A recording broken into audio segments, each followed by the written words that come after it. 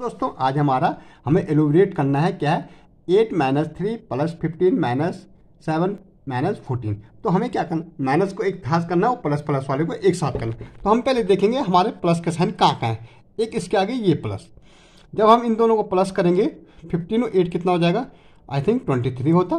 तो ये प्लस है तो प्लस आएगा।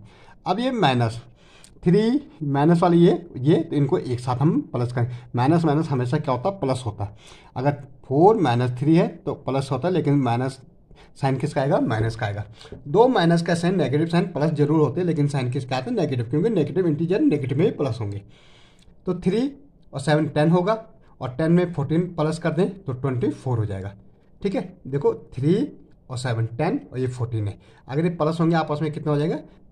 कितना हो जाएगा? ट्वेंटी फोर अब ये बड़े बड़े, देखो हमें अब ट्वेंटी फोर में माइनस करना है कितना? ट्वेंटी थ्री बड़े के आगे क्या साइन है? माइनस का तो हमारा आंसर माइनस में आएगा माइनस वन देखो यहाँ पे देख रहे हैं, ये पॉजिटिव में, ये नेगेटिव में.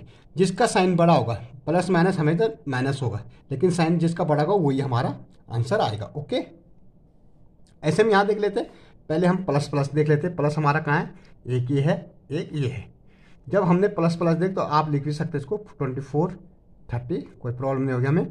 Twenty five minus forty seven minus twelve इनको प्लस कर दो फोर और सिक्स और थ्री कितना दो नाइन अब इन सबको भी प्लस कर दो आपस में। हाँ हम अगर प्लस करेंगे फोर्टी सेवन उससे पहले ट्वेंटी फाइव है, फिर ये। फाइव और सेवन कितना होता है? ट्वेल्व ये फोर्टीन हो जाएगा। Four six four two six one seven eight आ जाएगा कितना आएगा? एट्टी फोर आ जाएगा। लेकिन माइनस का साइन आएगा तो माइनस माइनस प्लस ज़रूर होते हैं, लेकिन साइन किसका आता? माइनस का आता। अब यहाँ देखो, बड़े के आगे प्लस है, ये माइनस है। माइनस ज़रूर होगा, लेकिन साइन आप किसका आएगा? प्लस का आएगा। तो हमारा क्या आएगा? प्लस का।